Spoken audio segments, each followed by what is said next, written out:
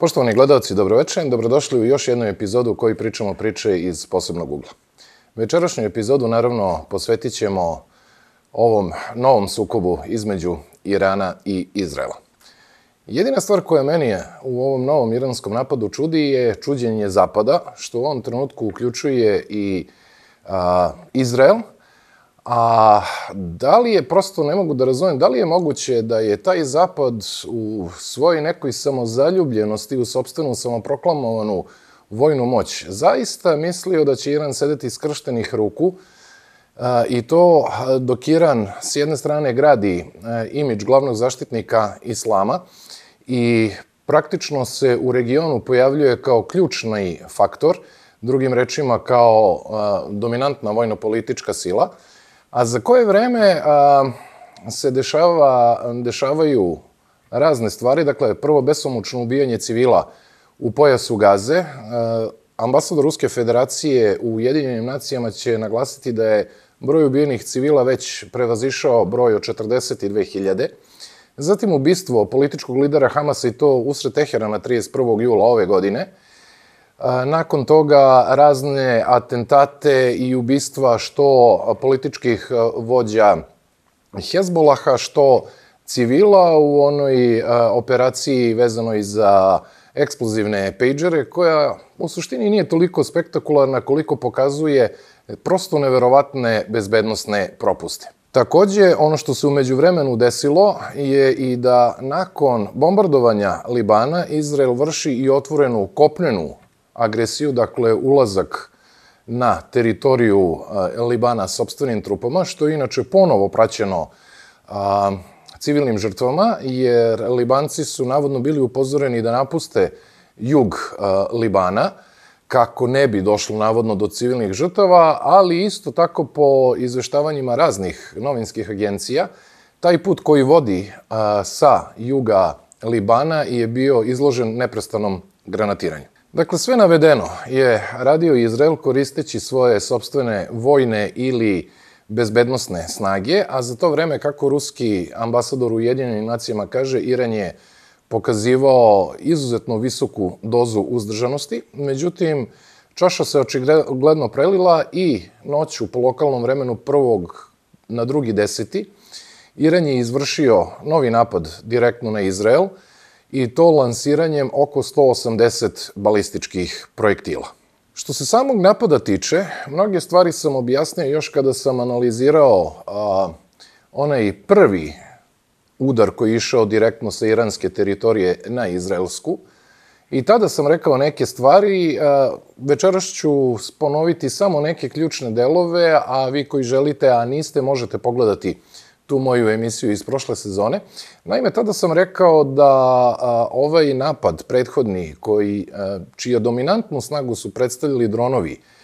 kojima je trebalo između 8 i 9 sati da stignu do izraelske teritorije i takođe e, krstareći projektili koji su bili lansirani su pre svega služili za prikupljanje obavešteno operativnih podataka u smislu rasporeda i načina dejstva izraelsko-zapadne protivvazdušne odbrane, ali takođe tada je Iran i nekoliko dana unapred upozorio na predstojeće napade i tada sam rekao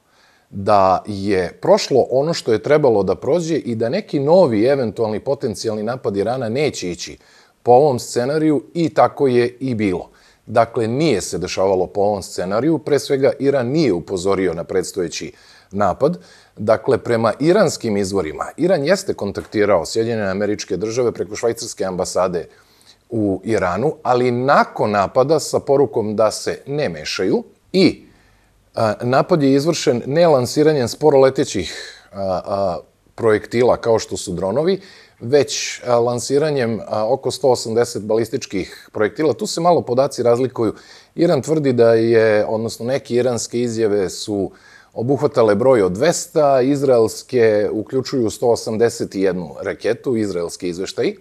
Dakle, negde oko 180 projektila je lansirano i tim projektilima je trebalo otprilike 12 do 15 minuta da stignu do svojih ciljeva. Ono što barem prema prvim podacima, inače ova emisija se snima tačno sedam dana nakon napada, dakle, e, Podaci javno dostupne informacije su još uvek relativno sveže, a ono što očigledno Iran jeste gađao, sudeći po koliko toliko verifikovanim snimcima i izveštajima je najmanje jedna platforma bilo za vađenje nafte ili gasa, I rano ujutru 2.10. su se mogli videti snimci požara sa te platforme. Međutim, vrlo interesantno da podaci o toj platformi vrlo brzo i potpuno nestaju iz svih izveštaja. Takođe je gađana i zgrada Mosada, tu se podaci razlikuju koliko projektila je bilo usmereno na zgradu Mosada, kao i tri a, izraelske aviobaze, a, Hatcerim, Tel Nof. Te dve baze vrlo brzo nestaju iz izveštaja. Telnov će se nešto malo kasnije pojaviti vrlo blago, ali ova prva vojna baza, vojna aviobaza, vrlo brzo nestaje. Iz izveštaja i u ovih sedam dana se uopšte ne pominje i aviobaza Nevatim. Postoje nekakvi snimci i tvrdnje da je e, Iran takođe gađao i da li blizinu e, izraelskih nuklearnih objekata ili e, same nuklearne iranske objekte. Pardon, izraelske objekte. U tom svom napadu, dakle, Iran nakon napada će tvrditi da je 90% projektila pogodilo svoje planirane mete i ciljeve, a Izrael kreće sa tvrdnjom da je najveći broj projektila koji su bili usmereni na Izrael oboren, Ali, meni se nekako, barem do izvesne mere, čini da Izrael kroz negiranje, i to malo neobično negiranje a,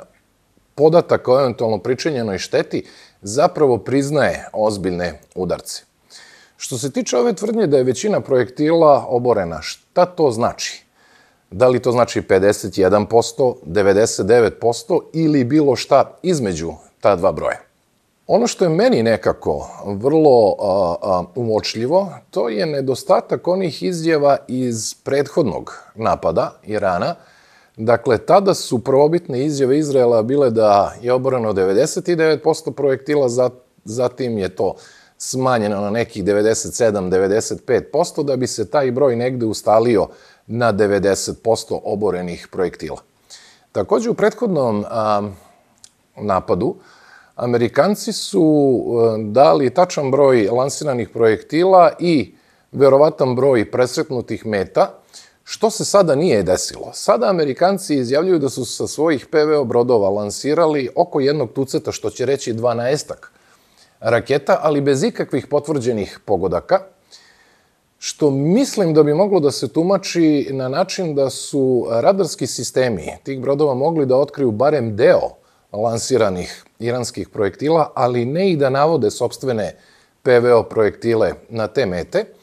A mislim da e, to mogu da budu dragoceni podaci ne samo za sam Iran, već i za Rusiju,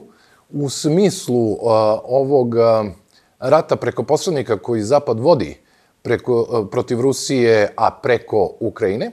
ali isto tako i za Kinu zbog ovog stalno prisutnog i sve jače čak prisutnog narativa o neposredno predstojećem direktnom sukobu Kina-SAD. Drugim rečima, čini mi se da su obe zemlje, dakle i Kina i Rusija, dobile vrlo dragocene podatke o eventualnim ograničenjima zapadnih PVO sistema. Što se Engleza tiče, oni su se u prošlom iranskom napadu vrlo dičili učešćem u odbrani e, teritorije Izraela, A sada su izjavili da se nisu mešali zato što, citiram, za tako nečim nije bilo potrebe. A mnogo je verovatnije da se nisu mešali zato što nisu imali čime da se mešaju, jer prošle akcije su bile a, karakterisane učešćem vazduhoplovnih snaga, dakle aviona pri presretanju ovih dronova i krstarećih projektila pre svega, a ruku na srce a, avioni uopšte nisu predviđeni, dakle rakete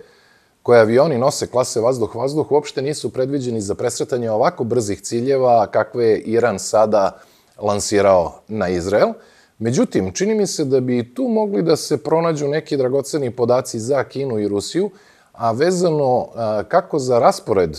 dugometnih PVO sistema Zapada, tako i za njihovu koordinaciju. Dakle, reklo bi se da je jasno da je jedna i druga strana, dakle, iranska i izraelska, navode neke brojke i neke podatke,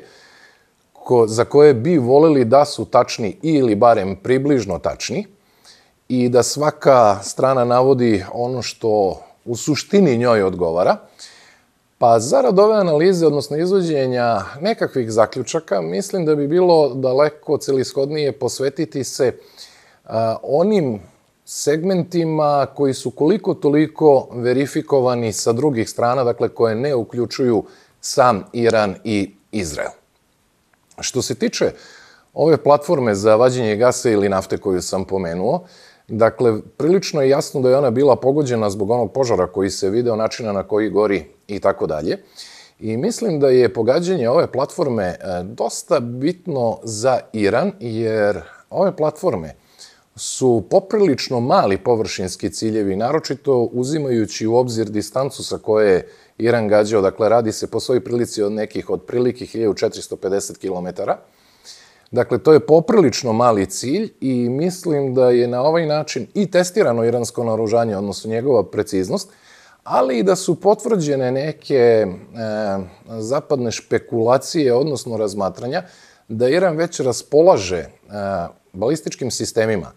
čije odstupanje od nišanske tačke nije veće od 60 metara.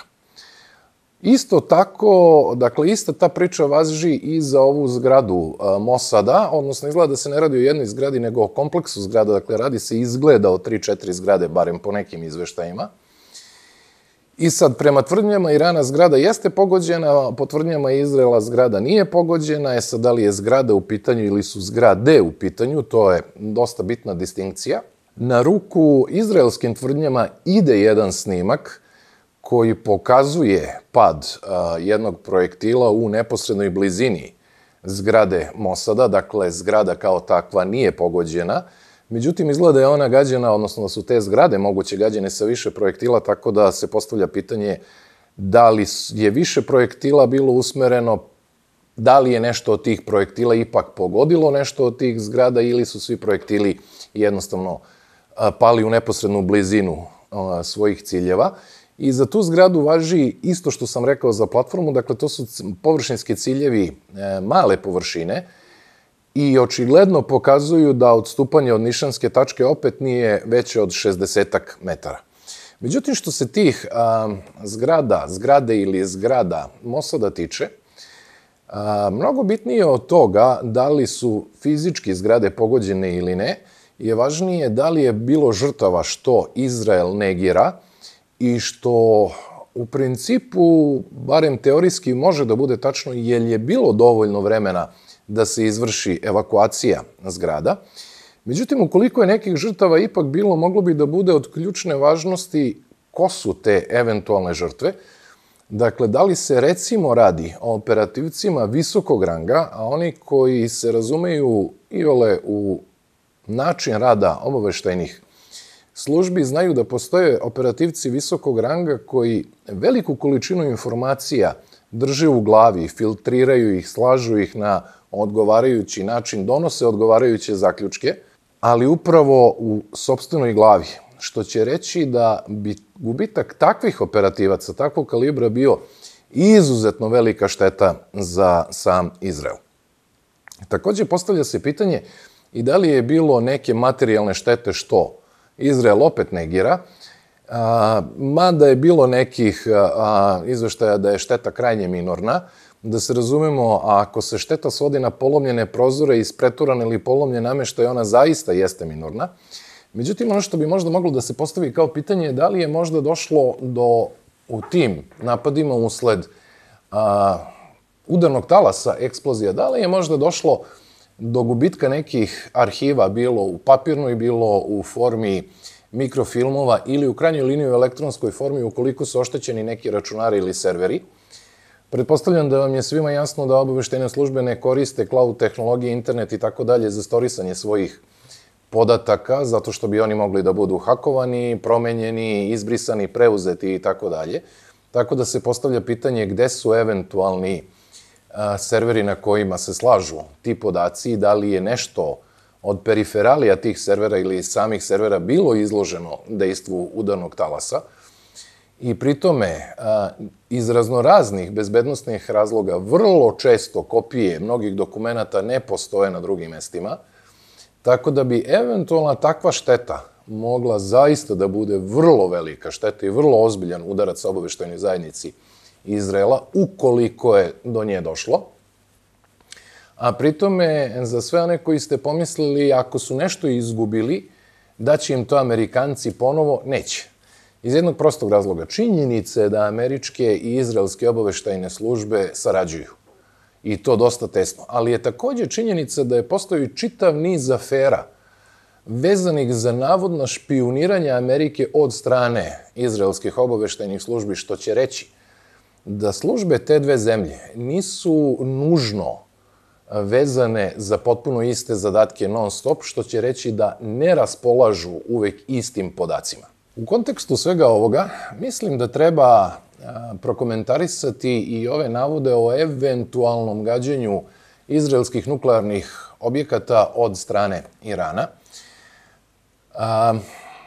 mislim da do takvih napada nije došlo, odnosno, ako je došlo do takvih napada, mislim da Iran uopšte nije pokušavao da gađa zaista a, objekte, nego eventualno okolinu tih objekata, a evo zašto. A po svim a, dostupnim pokazateljima, Iran se trudio da gađa isključivo vojne ciljeve i da maksimalno minimizira potencijalne civilne žrtve, što čak i sam Izrael posledno priznaje zato što je prijavio ranjavanje dva i pogibiju jednog civila, i to palestinca,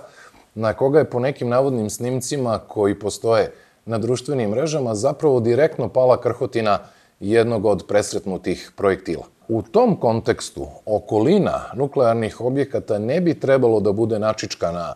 civilnim življem, civilnom populacijom, što će reći da bi i žrtve e, takvog napada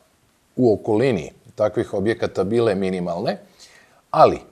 mislim da eventualno, ukoliko su ovi navodi tačni, što je pod velikim znakom pitanja, ali ukoliko jesu, mislim da je i samom Iranu jasno da Izrael na ovaj napad može ili da uzvrati ili da praktično na jedan, nepos, na jedan posredan način kapitulira. Pošto ova druga opcija uopšte ne deluje izgledno, dakle i samom Iranu je jasno da će do uzvratnog napada doći, a pritome je bilo poprilično jasno u prvom momentu da u tom eventualnom izraelskom uzvratnom napadu Jedna od grupa ciljeva koje bi Izrael napao bi mogli da budu upravo objekti iranskog nuklearnog programa, pa je eventualnim gađanjem okoline manje ili više blizine izraelskih a, nuklearnih objekata Iran mogao da pokaže da u slučaju uzvratnog napada Izraela, pri čemu bivaju gađani objekti iranskog nuklearnog programa, Izrael momentalno trpi napad po sobstvenim objektima te namene. Što se tiče onih pomenutih aviobaza, rekao sam da prve dve vrlo brzo nestaju iz izveštaja, mada će se kasnije negde pri kraju ovog sedmodnevnog perioda pojaviti nekakav podatak da je ova baza Telnof bila pogođena sa tri projektila, ali što se tiče ove baze Nevatim koja je gađena i u prethodnom iranskom napadu, Dakle, radi se o aviobazi koja ima površinu od čak 21 kvadratni kilometar i suštinski ona predstavlja jednu od najvećih aviobaza na svetu. U početku, na samom, dakle, nakon samog napada Izrael će tvrditi da baza uopšte nije pogođena. Međutim, nakon toga se pojavljuju satelitski snimci koji pokazuju snimke nekakvog dejstva i nakon toga se Izrael koriguje u smislu da baza jeste pogođena, ali da je pričinjena šteta krajnje minorna i umanjuje tu štetu, čini mi se i delimično na pogrešan način, zato što je ta izjava praćena razjašnjenjem ili objašnjenjem da jeste pogođena baza, ali da je pogođena administrativna zgrada, čisto administrativna zgrada, što ako je tačno, Izraelci jesu u pravu, jer čisto administrativna zgrada zaista ne predstavlja bilo kakav bitan vojni cilj u smislu nekog sprečavanja operativnog funkcionisanja te baze. Blago karikirano može se razapeti i šator i e, službenici koji rade u administrativnoj zgradi mogu da rade svoj posao do popravke zgrade. Dakle, taj deo priče uopšte nije problematičan. Takođe, ako se radi o pogodcima po, poletno-sletnih staza, one ne znače mnogo ukoliko takav cilj nije izložen stalnim avionapadima, dakle ako se radi o napadu kao što je bio ovaj iranski jednokratnom napadu, onda je čak i pogađanje poletno-sletnih staza relativno neefikasno, dakle služi više kao neka demonstracija, zato što se takva a, oštećenja, a naročito uzevši u obzir da je Iran očigledno dejstvovao projektilima sa klasičnim eksplozivnim bojevim glavama, drugim rečima, na mestu udara rakete ostaje veći ili manji krater i to je to. Dakle, to je šteta koja se sanira u nekom periodu od par sati do dva dana maksimalno. Međutim, ono što Izrael takođe jeste izjavio, to je da su pogođeni delovi za održavanje. E, taj deo izraelske izjave je vrlo problematičan, Dakle, ako se ne radi o delovima koji služe za održavanje voznog parka same baze, a tako velika baza nesumnjivo ima ozbiljan vojni park. Drugim rečima, karikirano, ako se ne radi običnim automehaničarskim radionicama, nego o onim delovima održavanja koji služe za obsluživanje aviona, čiji je dom ta aviobaza, e onda ta šteta uopšte nije ni tako mala, ni tako naivna, zato što moderni borbeni avioni zahtevaju jako veliku količinu a, održavanja. U nekoliko emisija sam pričao koliko je prosečno a, potrebna količina održavanja po satu naleta borbenog aviona. Drugim rečima, ozbiljno izbacivanje iz stroja nekih delova sistema održavanja na duže staze zasigurno dovodi do izbacivanja iz upotrebne iz operativne upotrebe i samih vazduhoplova. Ovakva eventualna šteta se može, naravno, sanirati, dakle, pogođeni delovi se mogu obnoviti, ali to zahteva i vreme i naročito novac, ukoliko naročito su pogođeni, recimo, delovi koji imaju specijalizovane alate ili mašine za održavanje vazduhoplova ili ukoliko je došlo do stradanja visoko obučenog kadra koji radi poslove održavanja na tim borbenim avionima. Inače, ni jedan izveštaj, bar ja nisam video, koji pominje bilo čiji izveštaj koji pominje bilo kakve vojne žrtve Izraela, dakle, pripadnike oružanih snaga Izraela koji su eventualno stradali u ovom iranskom napadu. Dodatne probleme u ovoj priči Izraelu prave ti satelitski snimci koji su se pojavili, ukoliko su oni tačni. I onda se ispostavilo da se na tim satelitskim snimcima vide i oštećenja na hangarima. A, dakle, na dva hangara, pri tome i jedan hangar je očigledno ozbiljno oštećen sa rupom vrlo velike površine. Međutim, po svojoj prilici radi se o hangaru koji predstavlja onu običnu limenu strukturu koja služi samo za to da zaštiti vazduhoplove od atmosferalija. A, dakle, da li je teorijski tu u tom hangaru moglo da bude nešto? Pritome, očigledno taj hangar, ukoliko se radi o onom običnom metalnom hangaru koji služi za zaštitu samo od atmosferalija, Dakle, on očigledno nije probijen eksplozivnim dejstvom, jer da je projektil udario i eksplodirao, od tog hangara ne bi ostalo ništa, bez obzira na njegovu procenjenu prilično veliku dužinu od nekih 35 metara otprilike. Dakle, od tog hangara ne bi ostalo ništa. Da li u tim hangarima, da li u tom hangaru bilo nečega ili ne, ne znam. Takođe se pominje da su i neki avioni koji su bili parkirani u zaštitnim na parkirnim mestima sa zaštitnim bedemima, da je nešto od njih uništeno. Zaista na tim satelitskim snimcima se na nekim od tih parkirnih mesta vide avioni, a na nekim od tih parkirnih mesta se vide nekakve, čini mi se mrlje, ajde, to bih tako nazvao. Ja lično ne mogu da kažem šta je, zato što prosto nisam video satelitsku fotografiju dovoljno velike rezolucije ako su uopšte ovo prave satelitske fotografije. Dakle, nisam video dovoljno velike rezolucije da bih mogao da ocenim šta su te nejasne senke koje se vide na tim fotografijama. Da li su to krhotine uništenih aviona ili je to nešto sasvim drugo. Iran će inače uh, ustvrditi posle napada da je uništeno čak 20 uh, aviona tipa F-35 koje Izrael imao na oružanju, što mislim da bi predstavljao strahovit udarac za Izrael, zato što bi to predstavljalo skoro polovinu flote 35-ica koje Izrael ima, međutim, po svojoj prilici to nije naročito verovatno, zato što a, po satelitskim snimcima cele baze poprilično jasno se vidi, a, poprilično jasno se zapravo vide bunkeri od, dakle, strukture od armiranog betona, koje verovatno služe upravo kao kaponiri za 35-ice, I samo jedan od tih kaponira je očigledno na jednom uglu oštećen. Da li je došlo do proboja ili ne, veliko je pitanje. Verovatnije da nije, verovatnije da ta struktura može da izdrži direktan pogodak i mnogo jačeg naoružanja nego što je a, a, Iran koristio, dakle naoružanja većih bojevih glava i veće razorne moći. Premda moram priznati da se sa zapada na vrlo kratko pojavila jedna vest da je uništena jedna 35-ica i ta vest je vrlo brzo nestala iz svih izveštaja, a možda je vezana upravo za ovaj očigledno delimično oštećenih jedan od hangara 35-ice i plus toga, po svoj prilici, ova baza ima a, barem dva podzemna skloništa ili šta god, dakle neka dva podzemna objekta koji imaju čak 12 ulaza, ukupno reklo bi se, po satelitskim snimcima. Tako da je veliko pitanje da li je do nekog oštećenja 35-ica došlo tim pre što je navodno Amerika par sati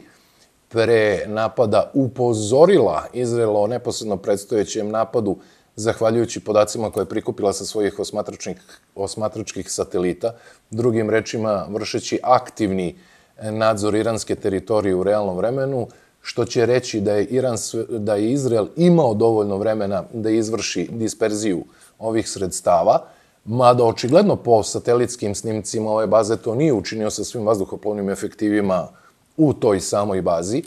Mogo je da podigne 35-ice kao najbitnije efektive kojima raspolažu u vazduh i da ih ukloni van domašaja, tako da je vrlo veliko pitanje da li je nešto od 35-ica uništeno.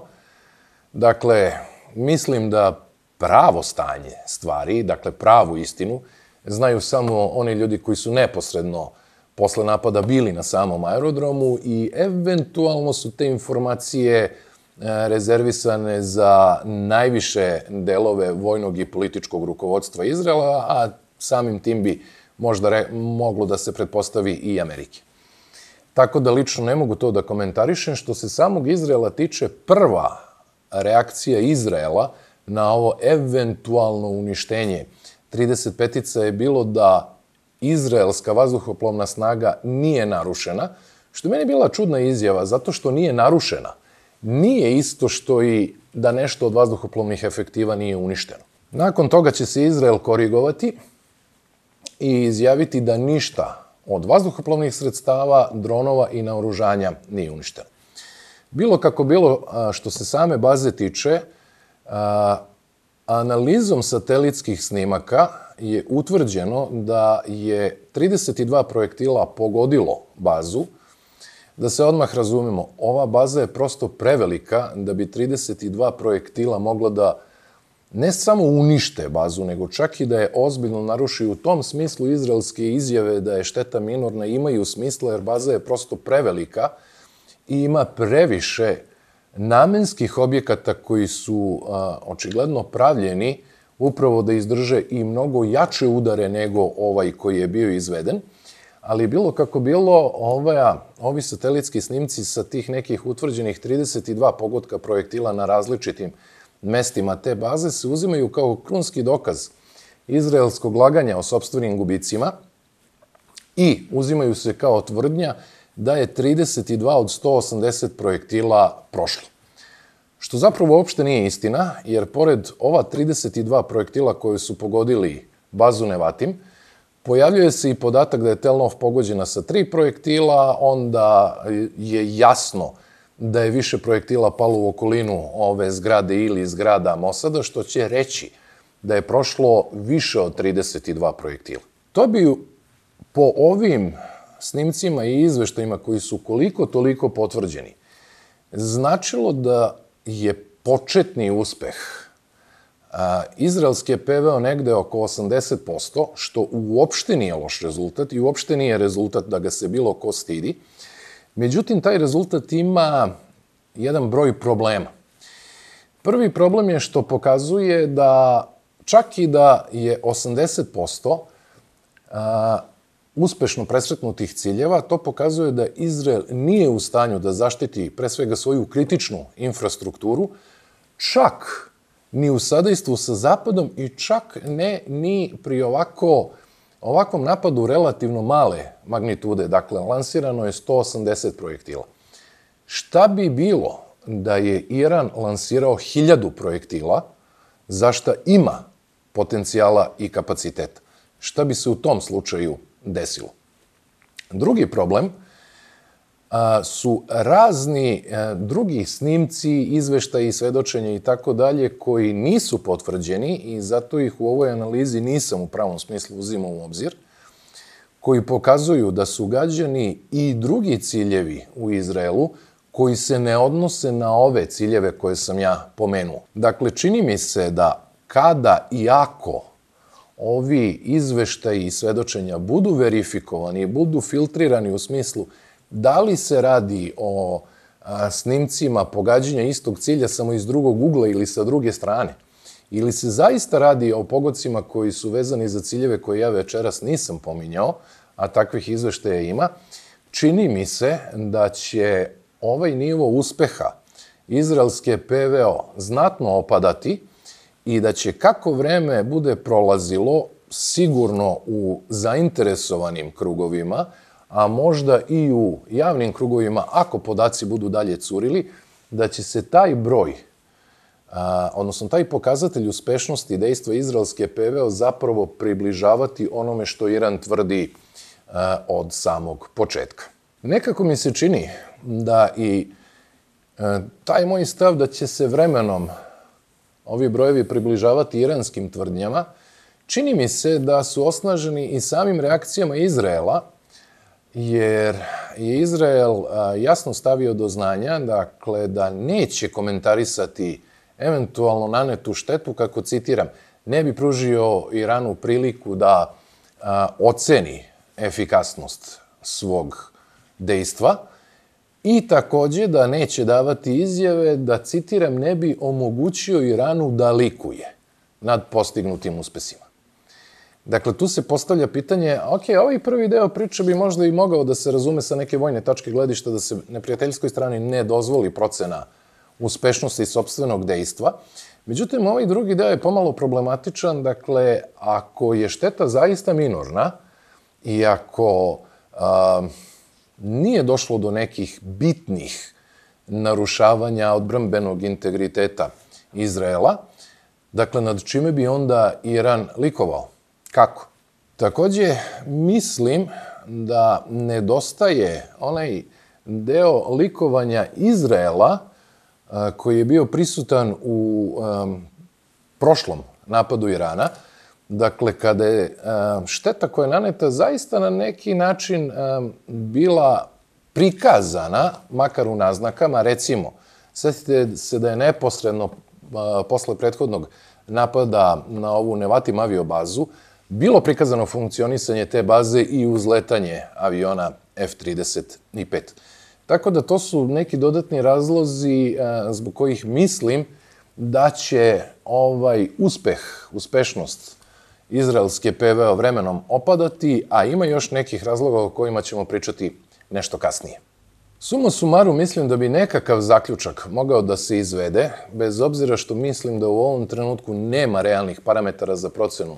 uspeha izraelske PVO, da Iran jasno pokazao da ima mogućnost izvođenja ofanzivnih dejstava širokih razmera, da raspolaže na oružanjem koje je e,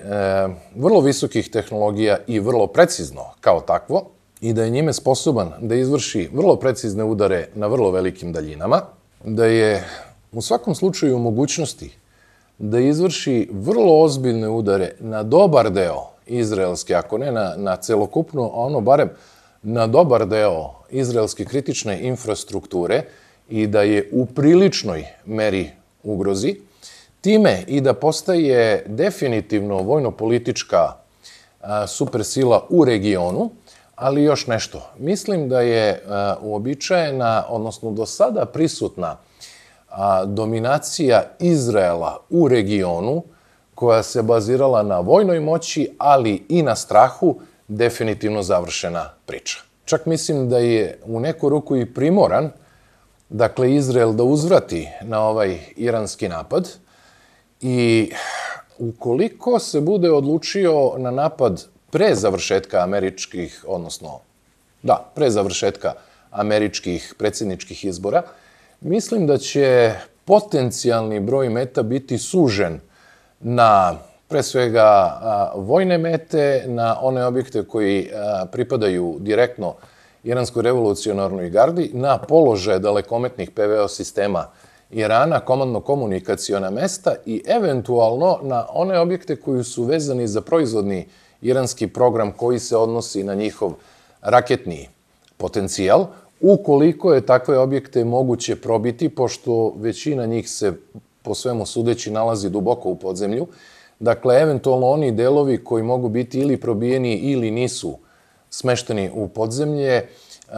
u nekom takođe blic napadu, dakle nečemu što ne iziskuje dugotrajne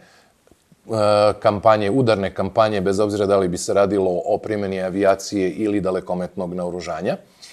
A, a ukoliko Izrael bude čekao kraj predsjedničkih izbora, mislim da će lista ciljeva u mnogome zavisiti od rezultata tih e, izbora i time će u suštini ceo ovaj region ući u novi uži krug ove spirale nasilja u regionu sa dobrom verovatnoćom da se cela priča prelije čak i na globalni nivo, o čemu je već izdao upozorenje ruski ambasador u Ujedinjenim nacijama. Takođe, faktor koji će ozbiljno uticati na potencijalnu listu ciljeva koje će Izrael u svom uzratnom udaru ugađati, će direktno zavisiti i od ozbiljne promene koja se već desila balansa moći u regionu. E sad, u ovoj večerašnjoj emisiji primetite da uopšte nisam pominjao na oružanje koje je koristila jedna i druga strana i takođe uopšte nisam pominjao eksterne faktore koji su bitni za ovu priču. Ovo nisam učinio iz prostog razloga što zbog ozbiljne kompleksnosti tema, što zbog prisustva strahovito velike količine potpuno pogrešnih informacija, potpuno pogrešnih izjava, mislim da ove teme a, za, zaslužuju neke posebne emisije i zato ćemo o njima i pričati u nekim drugim emisijama. Do nekih novih priča iz posebnog ugla, prijatno večer.